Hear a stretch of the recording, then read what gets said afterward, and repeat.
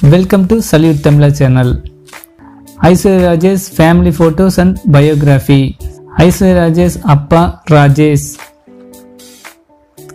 தன் அம்மாவுடன் ஐஸ்வர்யா ராஜேஷ் பிரதர் மணிகண்டனுடன் Aishwarya Rajesh Aishwarya Rajesh family photo ஆயிரத்தி தொள்ளாயிரத்தி தொண்ணூறு ஜனவரி பத்தாம் தேதி ஐஸ்வர்யா ராஜேஷ் பிறந்திருக்காங்க. அவங்க சொந்த ஊர் சென்னை. ஐஸ்வர்யராஜேஷ் அப்பா ஐம்பதுக்கும் மேற்பட்ட தெலுங்கு படங்களில் நடிச்சிருக்கிறாரு. இவரின் அத்தை ஸ்ரீலக்ஷ்மி காமெடி நடிகை. தெலுங்கு படங்களில் சுமார் ஐம்பது படங்களுக்கு மேல் காமெடி நடிகையாக நடித்துள்ளார். ஐஸ்வர்யராஜேஷின் favourite colour maroon pink ஐஸ்வர்யராஜேஷின் favourite actor Vijay. ஐஸ்வர்யராஜேஷ் தனது பள்ளி படிப்பை Anglo Indian higher secondary school சென்னையில் படிச்சிருக்காங்க. தனது பிகாம் டிகிரியை எத்திராஜ் காலேஜ் ஃபார் உமன் சென்னையில் முடிச்சிருக்காங்க. நடுத்தர குடும்பத்தைச் சேர்ந்த ஐஸ்வர்யா ராஜேஷ்க்கு மூணு பிரதர்ஸ் இருந்திருக்காங்க. அதில் ரெண்டு பேர் ஆக்சிடெண்ட்டில் சின்ன வயசுலேயே இறந்துட்டாங்க. இதனால் குடும்ப வறுமை காரணமாக பண தேவை காரணமாகவும் முதல்ல சேரீ விற்பனை செஞ்சிருக்காங்க. சேரீ விற்பனையை தனது ஃப்ரெண்ட்ஸ்குள்ளேயே செஞ்சுருக்காங்க ஐஸ்வர்யா ராஜேஷ். அதில் இருக்கிற வரவு பத்தாததுனால எல்ஐசி ஏஜெண்ட்டாக மாறியிருக்காங்க. அந்த வருமானமும் பத்தாததுனால எல்ஐசி ஏஜெண்ட்டாக இருந்தவங்க அந்த வருமானம் பத்தாததுனால ஒரு சாக்லேட் கம்பெனியோட ப்ரொமோட்டராக இருந்திருக்காங்க. சூப்பர் மார்க்கெட் முன்னாடி நின்று அந்த சாக்லேட் கம்பெனி சாக்லேட்ஸை விற்பனை செஞ்சுருக்காங்க.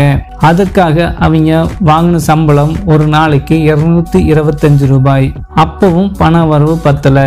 அதனால் ஒரு டிவி சீரியலில் நடிக்க முடிவு பண்ணியிருக்காங்க அதற்காக அவங்க ஒரு நாளைக்கு ஆயிரத்தி ஐநூறு ரூபாய் சம்பளமாக வாங்கியிருக்காங்க.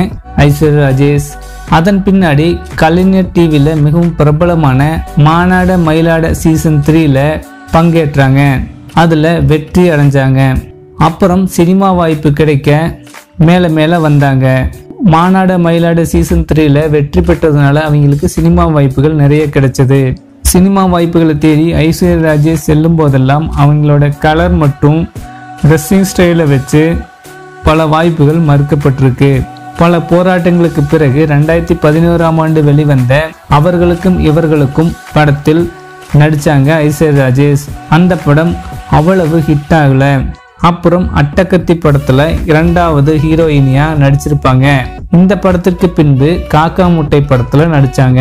காக்கா முட்டை படம் நல்ல ஹிட் கொடுத்தது. அதன் பின்னர் பல படங்களில் நடிச்சிருக்காங்க.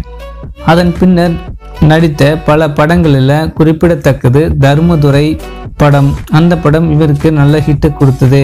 இப்போ சமீபத்தில் காப்பி ரணசிங்கம் படத்தில் நடிச்சிட்டு இருக்காங்க இவங்க தமிழ் தவிர ஹிந்தி தெலுங்கு போன்ற படங்களிலும் நடிச்சிட்டு வராங்க. சமீபத்தில் இவங்க ஹிந்தி தெரியாது போடா என்ற ஒரு டிஷர்ட் அணிஞ்சு ஒரு ஃபோட்டோ வெளியாயிருந்தது. அந்த ஃபோட்டோ மிகவும் பல சர்ச்சைகளுக்கு உள்ளானது. ஐஸ்வர்யா ராஜேஷ் தான் நடிக்கும் படம் ஒன்றிற்கு சம்பளமாக நாற்பது முதல் ஐம்பது லட்சம் வரை சம்பளம் வாங்குகிறார். ஐஸ்வர்யா ராஜேஷ் அவர்களின் நெட்வொர்க் ப்ராப்பர்ட்டி முப்பத்தஞ்சு கோடி ரூபாய் இருக்கும் என்று தெரிஞ்சிருக்கு. அவங்களோட ஹாபி அப்படின்னு பார்த்துட்டிங்கன்னா பாட்டு பாடுறதும் அப்புறம் டான்ஸ் ஆடுறதும் தான் அவங்களோட ஹாபின்னு சொல்லியிருக்காங்க.